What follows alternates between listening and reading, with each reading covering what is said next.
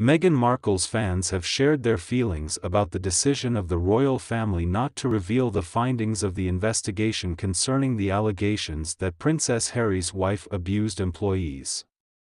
The followers of the former actress have accused the firm of lying regarding the incident. The Sunday Times reported that the final outcome of Buckingham Palace's inquiry into the claims against Meghan Markle will not be revealed to the public. The findings of the inquiry are expected to be kept private to ensure the privacy of all those who was involved. The Duchess of Sussex has denied the allegations her supporters believed they were in denial about the allegations. The Twitter account at DeWimwe has accused the group trying to intimidate and silence an ex-Suits star by launching an apparent fake investigation. It appears to be a failure the way they wanted, they tried to hide the BS. He even declared it one mistake and used the hashtag hashtag royal family lied. In light of the fact that they misjudged this controversial member of the royal family, they urged the royal family to seek advice the lawyer of her to get her off the hook. Another user on Twitter who is named at Matt underscore Hurry has claimed that the royal family didn't conduct an investigation.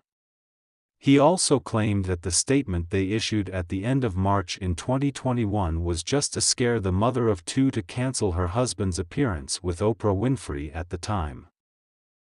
However, when they couldn't stop her from speaking, they claimed that an investigation was about to take place. Another person noticed that they could not divulge the findings following Buckingham Palace leaked the bullying investigation.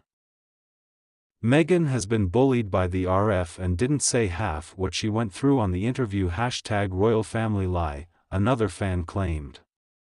Express had already reached out to Buckingham Palace for a comment however nothing had been sent out as of the time of writing. Sources claim that the Queen Elizabeth paid an unofficial legal firm to look into the issue, but that the results were buried. The courtiers did not wish to make the findings public in order to protect those who were involved in the investigation and avoid conflicts between the royal family as well as the Sussexes. However, Buckingham Palace reportedly improved policies and procedures within the HR department. But, some staff members were unhappy that they weren't able to see or be informed of the changes.